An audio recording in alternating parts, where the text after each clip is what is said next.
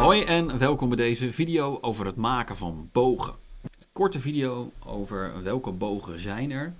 Nou, in SketchUp als je de grote toolset hebt aanstaan, dan zie je hier een aantal bogen staan. En eigenlijk mijn favoriet is de boog vanaf het eerste uur. Dat is de, ehm, de two-point arc, oftewel de tweepuntsboog.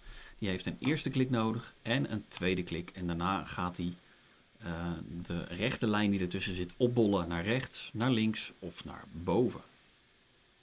Dus zo maak je een bolling. Je hebt er hier nog een. Ik kan met deze tool een, uh, ja, die kan ik als een soort van passerpunt gebruiken. Daar maakt hij een taartpunt van. Heet dan ook de, de, de pie tool. En uh, dit is eigenlijk gewoon de, de, de normale arc. En die doet exact hetzelfde als de pie tool, alleen die verbindt de punten niet met elkaar.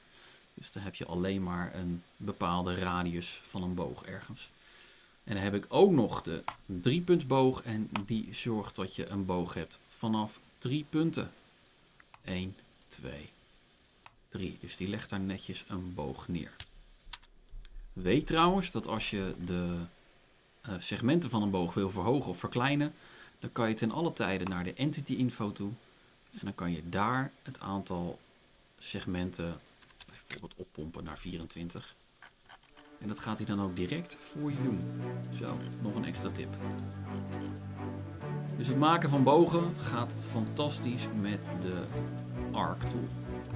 Je ziet trouwens ook dat als ik de two point arc gebruik en die leg ik naast de volgende, dat hij netjes organisch doorlegt. Maar dat is voor voor een andere video. Dankjewel voor het kijken en graag tot de volgende. Tot ziens!